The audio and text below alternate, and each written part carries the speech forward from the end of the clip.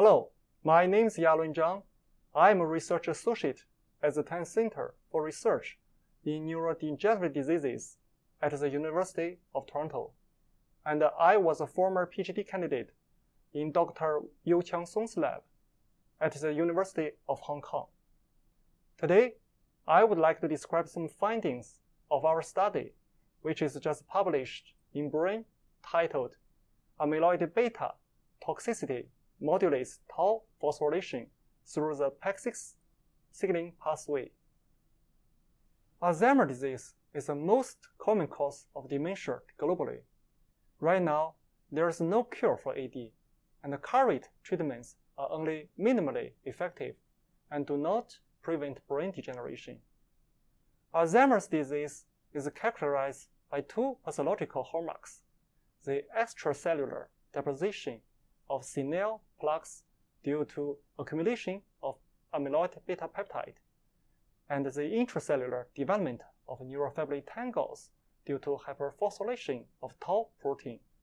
In AD brain, soluble forms of amyloid beta are thought to trigger a cascade of disease-causing processes, such as accumulation into senile plaques, neurofibrillary tangles, formation, synapse dysfunction, which drive healthy neuron into the disease state and eventually lead to dementia.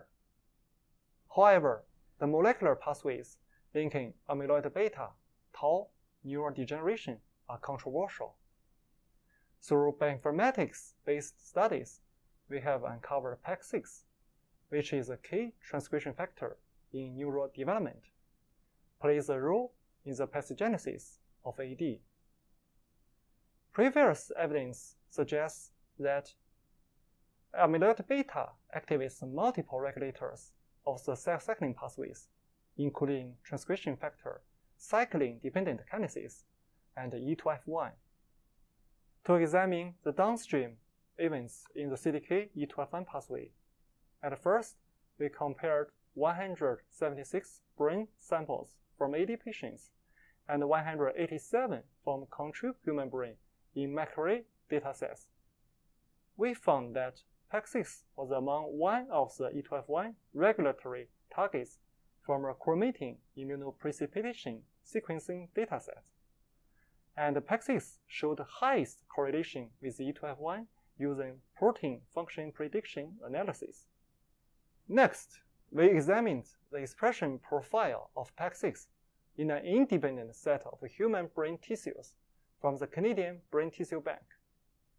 Western blot of frontal cortical tissue isolated from 14 Alzheimer's disease patients and 14 non-Alzheimer's disease controls showed that expression of PAX6 was significantly upregulated in Alzheimer's disease brains compared with controls.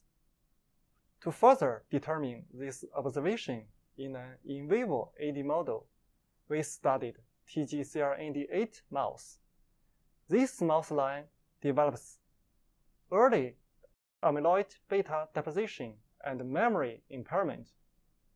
Immunohistochemical staining of TgCRND8 and wild-type littermate mouse brains show that beginning at 4 weeks of age, the proportion of neurons expressing PAX6 was significantly increased in the entorhinal cortex of TgCRND8 mice, and this increase lasts until the mice are 26 weeks old.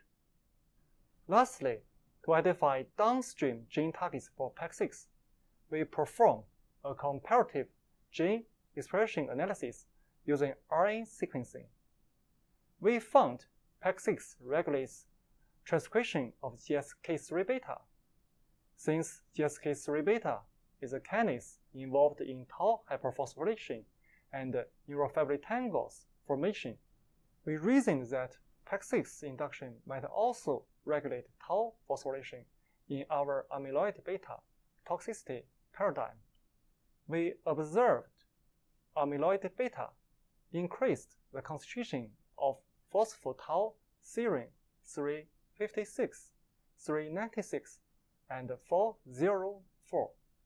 When PAX6 was downregulated, tau phosphorylation at the three serine sites and the ratio of phospho-tau to total tau was strongly decreased, suggesting that the cell cycle pathways mediates GSK3 beta activity in this paradigm. In conclusion, this study provides a mechanism through which amyloid beta neurotoxicity leads to tau hyperphosphorylation via cell cycle activation and subsequent activation of CMAP PAX6 GSK3 beta.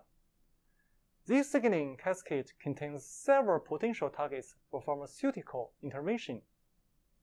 Hence, our discovery answers a long-disputed question in AD research and shines a light towards targets in drug discovery. Thanks for watching. For more details, please read our paper.